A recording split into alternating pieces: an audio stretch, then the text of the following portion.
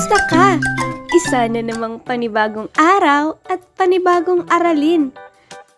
Ngayon ay pag-aaralan natin ang greater than or less than. Narito ang mga simbolong ating gagamitin sa araling ito.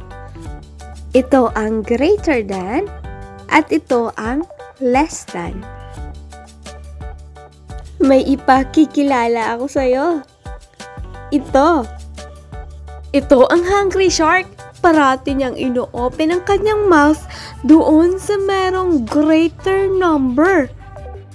Palagi kasi siyang gutom kaya kakain siya ng mas marami.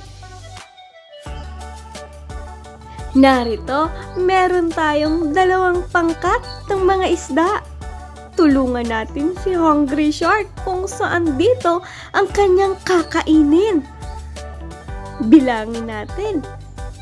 1, 2, 3, 4. Sa kabila naman.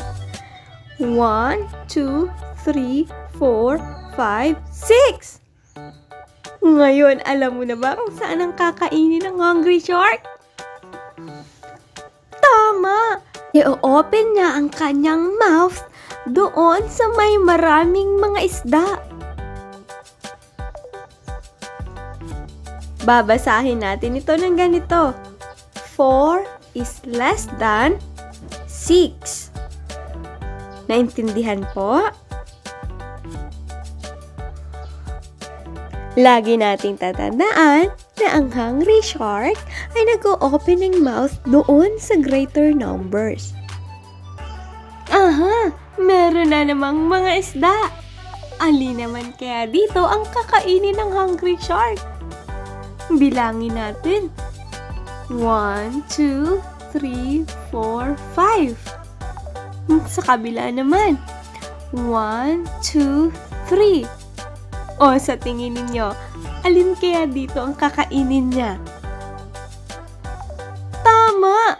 Kasi ito ang my greater numbers. Babasahin natin ito ng ganito. 5 is greater than 3. Aha! Meron na namang kakaining mga isda, ang hungry shark.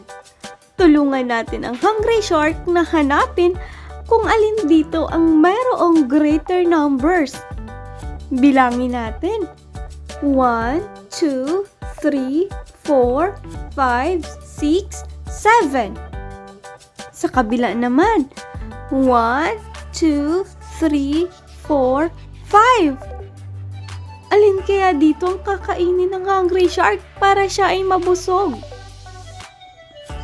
Tama! Dahil ito ang may greater numbers ng mga isda.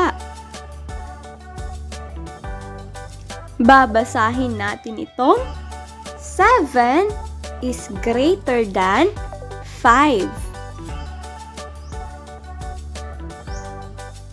Sa muli, lagi nating tatandaan na ang mouth ng hungry shark ay naka-open doon sa greater numbers. Ito ang greater than at ito ay less than. Masaya ako at may natutunan kang muli ngayong araw. Hanggang sa muli, paalam!